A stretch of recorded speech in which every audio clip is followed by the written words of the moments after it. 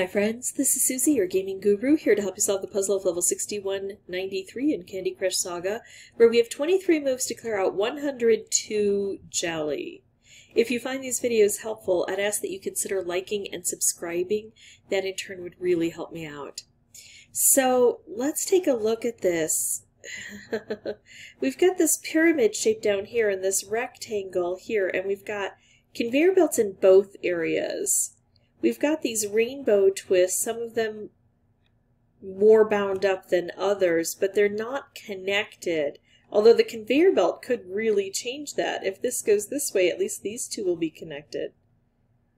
Yeah, this looks a little bit bizarre. I think what I have to do... Oh, and I've got stripe dispensers.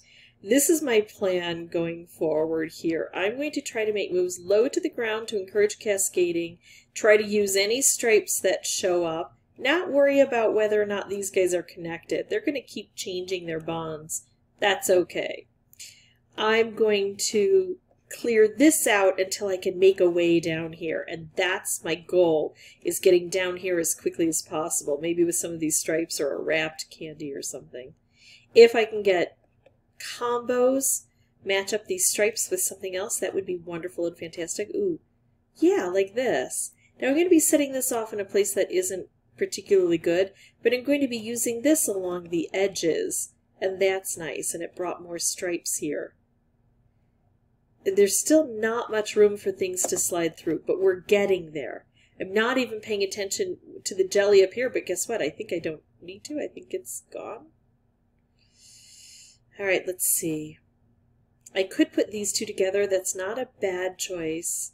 But I think I'll just go ahead and make more stripes because I've got multiple layers here to get through.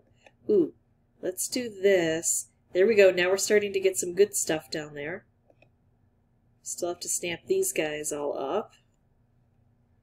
Oh, I like the horizontal stripes. I don't get horizontal stripes from here.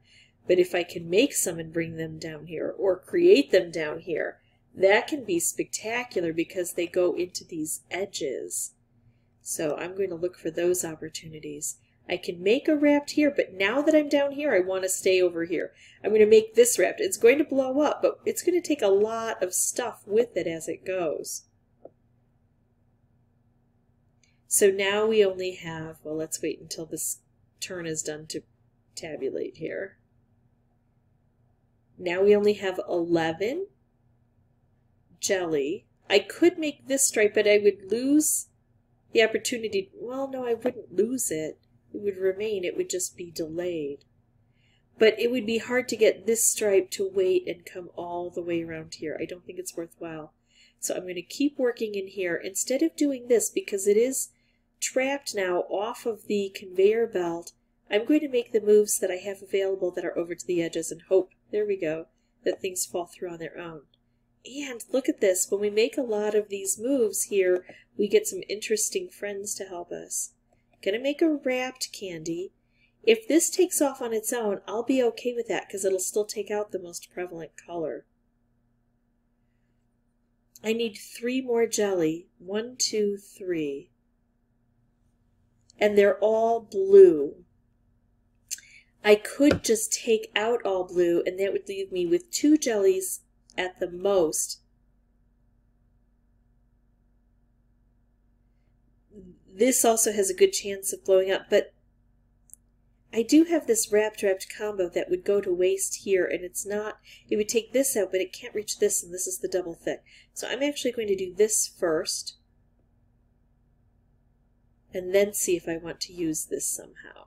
Well, now this is purple, and this is green, so that doesn't work out spectacularly, but I'm going to do this, take out at least this, and maybe get some cascading to help, and if not, I've got some backup that may still be around at the end of this turn, or may blow up.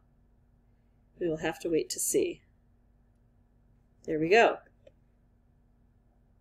Okay, so that's how I get this done on the first playthrough with six moves left.